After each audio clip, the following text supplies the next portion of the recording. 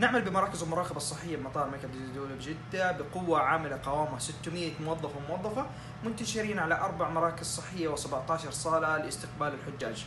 تصنف الخدمات إلى آه، خدمات علاجية ووقائية وتوعية. بالنسبة للخدمات العلاجية إذا كانت حالة عادية يتم توجيه المريض إلى الطبيب لأخذ العلاج اللازم وإذا كانت حالة لا قدر الله طارئة يتم توجيه الحالة إلى غرفة الطوارئ والتعامل معها من قبل استشاريين وأخصائيين في طب الطوارئ والعناية المركزه للتعامل مع الحالات الخطرة ويتم تحويل بعض هذه الحالات إلى المستشفيات إذا كانت الحالة بحاجة إلى تدخل جراحي أو تنويم. وإذا كانت الحالة لا قدر الله مشتبه بها بأي مرض معدي يتم عزل الحالة في في غرفة في غرف مخصصة للعزل ويتم التعامل معها من قبل فريق للتدخل والاستجابة السريع وهو فريق مدرب للتعامل مع أي حالات معدية لا قدر الله.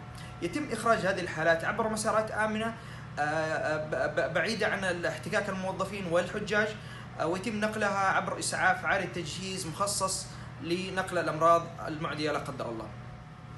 الخدمات الوقائية بالصالات نقدم خدمات وقائية عبر 17 صالة في كل صالة يوجد فيها فريق طبي متكامل يقومون بمناظرة جميع الحجاج القادمين من بعض الدول الموبوءه أيضا ويتم إعطاء بعض العقاقير الوقائية. آه، استقبلت مراكز المراقبة الصحية آه، للحظة ما يقارب 2000 حالة استفادوا من الخدمات الصحية. تم تحويل ما يقارب 23 حالة إلى داخل مستشفيات صحة جدة.